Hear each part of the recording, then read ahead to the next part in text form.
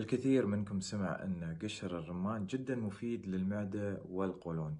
لو تبحث في الجوجل عن فائدة قشر الرمان راح تشوف عدد كبير من الناس تنصح باستخدام قشر الرمان في تخسيس الوزن وأيضا اللي عنده مشاكل في المعدة. طبعا نحن نتكلم عن قشر الرمان الخارجي والداخلي ولكن للأسف هذا القشر فيها مادة تسمى Alkaloids. هي مادة مرة سامة وبالتحديد للكبد.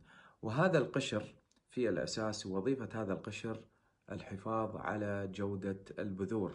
فالإنسان يستفيد من البذور اللي نحن دائما نأكلها لأن فيها مادة تسمى ellagic acid.